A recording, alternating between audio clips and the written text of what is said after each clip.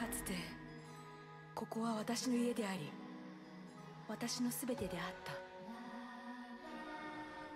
そこに武士が現れ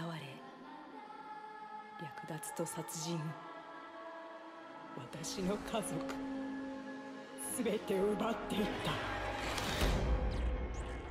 その数はさらに増しありとあらゆるものを奪い墓場さえも荒らした。